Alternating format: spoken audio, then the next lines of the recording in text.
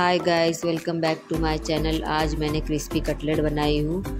तो यहाँ मैंने ली हूँ चार उबले हो आलू। उसे इस तरह से हमने मैश कर लेना है और थोड़ा नमक डाल दे।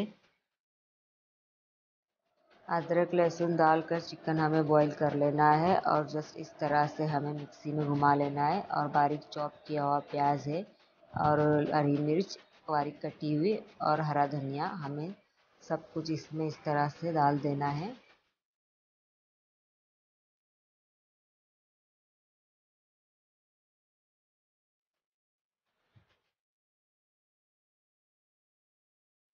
और इसे अच्छी तरह से मिक्स कर लें।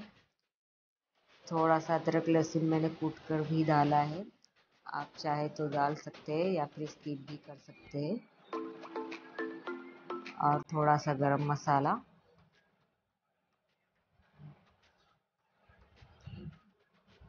इसे हमें अच्छी तरह से मिक्स कर लेना है। और एक चम्मच कॉर्नफ्लावर डाल दें। इससे बहुत ही अच्छा फ्लेवर आता है। और बहुत ही अच्छी तरह से सॉफ्ट बनता है अंदर से। और आधा चम्मच मिर्च पाउडर डाल दें। बस इसे अच्छी तरह से हमें मिक्स करके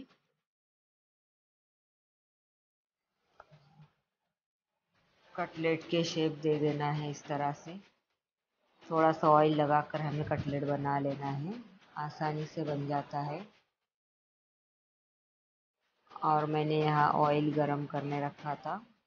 ऑयल गरम हो गया है। अब हमें इसमें अंडा और रवे में डिप करके इसे डीप फ्राई किया है।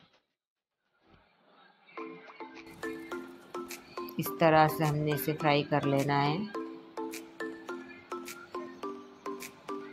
बहुत ही जल्दी हो जाता है ये।